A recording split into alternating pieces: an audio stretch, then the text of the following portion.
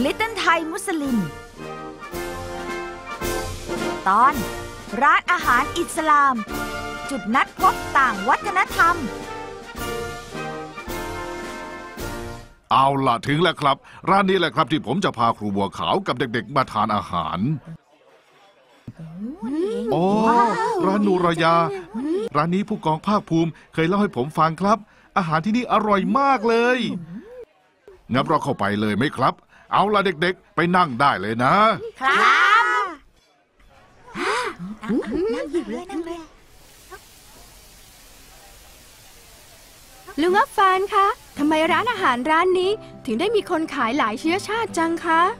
อ๋อ เก่งมากผิงอัน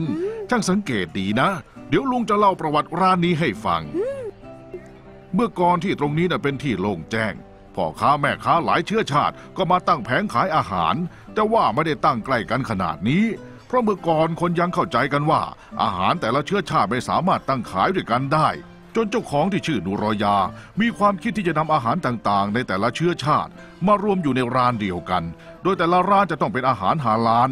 หลังจากนั้นก็ได้สร้างอาคารชั้นเดียว แล้วนำร้านขายปาตองโกของพ่อค้าชาวจีน ร้านอาหารของชาวมุสลิม ร้านเครื่องดื่มชากาแฟของชาวไทย มาอยู่ในอาคารหลังนี้ ด้วยความตั้งใจของเจ้าของที่ว่า คนทุกชาติทุกศาสนาต้องสามารถเข้ามาทานอาหารในร้านนี้ได้ จึงเป็นที่มาของป้ายหน้าร้านที่มีทั้งภาษาไทย มาลายูและจีนยังไงล่ะอืมดีจังเลยนะครับ เราจะได้ทานอาหารกันแบบสบายใจ โดยที่ไม่ต้องกังวลว่าลุงอัฟฟาน ฮัสซัน กับฮาโมนาจะทานไม่ได้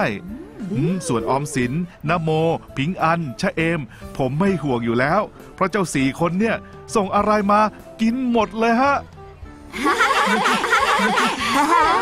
ร้านแบบนี้ในสามจังหวัดชายแดนใต้ มีหลายร้านแล้วนะครับ เพราะปัจจุบันแต่ละเชื้อชาติมีความเข้าใจซึ่งกันและกัน ให้เกียรติกัน ซึ่งถือว่าร้านอาหารแบบนี้เป็นจุดนัดพบต่างวัฒนธรรม สามารถอยู่เคียงข้างกันได้อย่างสันติสุขครับ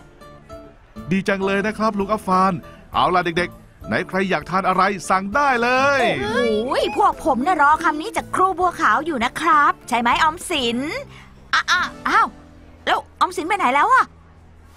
อ๋อโน่นไงฮะยืนอยู่หน้าร้านปลาท่องโกนั่นไง ถ้าปลาท่องโกไม่ร้อนนะ หมดไปหลายตัวแล้วโน่นไงออมสินโอ้โห